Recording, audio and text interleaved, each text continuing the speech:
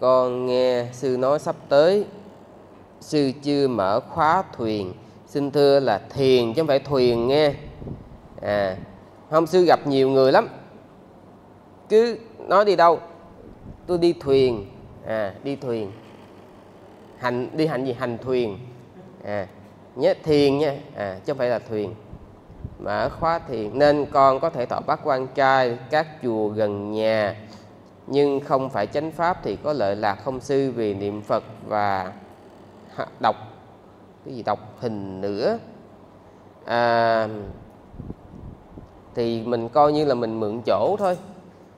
À, khi mà mình biết sư đã hướng dẫn quý vị phương pháp thực hành rồi thì à, mình về đó mình có thể mình kiếm nơi nào thanh vắng à, nơi nào mà nó ly dục thì à, chúng ta đi đến để chúng ta thực hành chúng ta có thể đi đến các chùa để mình mượn cái không gian chùa hoặc á, là mình đi đến à, những nơi trống thanh vắng như là rừng là núi công viên hay là những nơi nào á, mà nó thanh vắng nó ly dục nó gần gũi với thiên nhiên thì chúng ta đều có thể thực hành thiền được hết.